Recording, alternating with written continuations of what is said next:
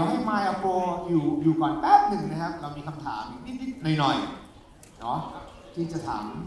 ทั้งคู่นี้นะครับ โอ้ตื่นเต้นแทนโปรเจกต์เยอะมากคุณบอลเดี๋ยวนอกจากหนังจะมีอะไรอีกไหมมีครับแต่ว่าเดี๋ยวให้พี่เล่าก่อนดีกว่า คืออ๋ออ๋อใช่ผมใช่เข้าให้ คือเห็นเอ่อมาเอ่อจริงๆ ทุกคนจะเห็นแล้วแหละว่าไมโ o ไม่ค่อยได้ไปสัมภาษณ์กับใครมากครับ น้อยจริงไม่ใช่ว่าเรากัดนะครับ แต่ผมก็รู้สึกว่าถ้ามันมีสเตจนั้นผมอยากให้อยู่ในในมือคนที่ผมเชื่อแล้วน้องๆเชื่อมากๆ เพราะฉะนั้นเนี่ยแน่นอนก็ต้องเป็นพี่เนาะหลังจากแจ็คสันหวังแล้วขอเป็นไมโ o ได้ไหมนี่พี่ตั้งเรียนกันอยู่ได้ไหมครับคือตื่นเต้นมาหลายวันแล้วนะครับ ได้มีโอกาสคุยกับปอนแล้วก็ทีมงาน นี้อันนี้น้องๆอาจจะไม่ทราบนานมากพอสมควร พอจบจากแจ็คสันหวัง WoodyFM on Stage วันนั้นทีมงานก็ถามผมเลยว่า พี่วูดดี้พี่อยากคุยกับใครต่อไป ผมก็จำได้เลยผมคิดแป๊บเดียวแล้วผมบอกว่าพี่อยากคุยกับคนไทย พี่อยากคุยกับคนไทยที่คนให้ความสนใจกันเยอะแล้วดูเป็นคนน่ารักมากที่อยากจะรู้เกี่ยวกับตัวเขาเยอะเพราะว่าเราไม่เคยฟังทอล์กแบบลึกซึ้ง ผมก็เลยบอกกับทีมงานว่า พี่อยากจะจัด Woody FM on stage กับ My a b o ครับ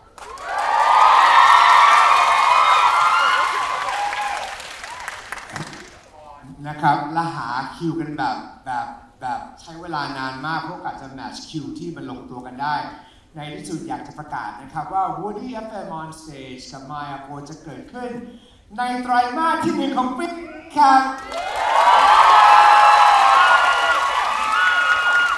จะหวังว่าเป็นโอกาสที่ดีของเขามาก เพราะว่าจริง ๆ วันนี้เป็นความฝันของผมอย่างหนึ่งที่ได้คุยกับพี่หมายถึงไม่ได้คุยกันแบบเล่นๆนะเนาะครับคุยกันแบบจริงๆเพราะว่าทุกครั้งที่พี่ถามใครผมรู้สึกว่าโหพี่โคตรฉลาดเลยว่ะรู้สึกว่าสองคนนี้มีเรื่องเล่าเยอะมากคือครับ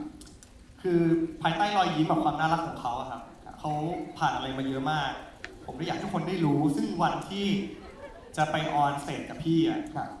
จะเป็นครั้งแรกหลังจากที่เขาออกจากโรงถ่าย ก็คือตอนนั้นเราคือปิดกล้องเพราะฉะนั้นเนี่ยทุกคนจะได้รับรู้ทุกอย่างในวันนั้นบนเวทีกับพี่ครับ นะครับ ก็จะมี detail ของงานแล้วก็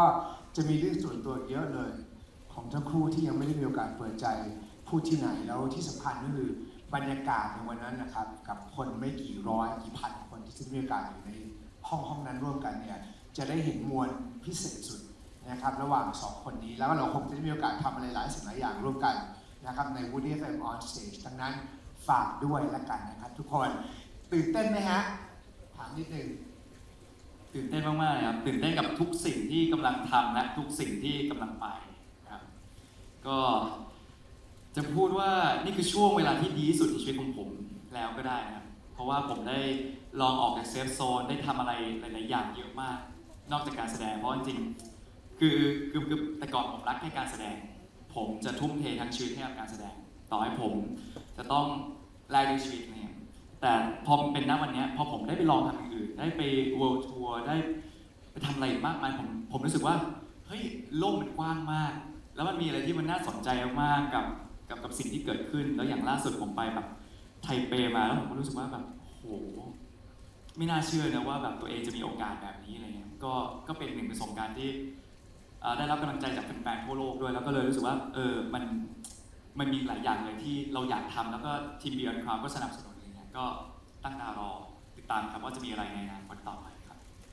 ทางติดตามนะครับมาเลยครับ ผมว่าแม่ต้องดีใจแน่ๆเพราะแม่ดูวูดดี้เกิดมาคุยตั้งแต่ผมแบบน้องมัธยมแล้วแล้วแล้วผมแอบแอบผมเคยแอบคิดด้วยนะเอามึงจะบอกว่ากูแก่ใช่ ไหมโทษทีครับโทษทีครับเชิญครับเชิญครับ กับพี่บอลเท่ากันไหมครับเอต่ออต่อต่อต่อก็เด็กๆเด็กๆเด็กๆเราดูตอนประมาณไม่นี่มันเขกหัวเจ็บปะวะเราโตมาด้วยกันเราโตมาด้วยกันพอเราโตมาด้วยกันปุ๊บผมก็นอนดูกับแม่แล้วเราแอบรู้สึกว่าเฮ้ยพี่วูดดี้พี่คนเนี้ยในทีวีเขาเป็นคนที่เก่งมาก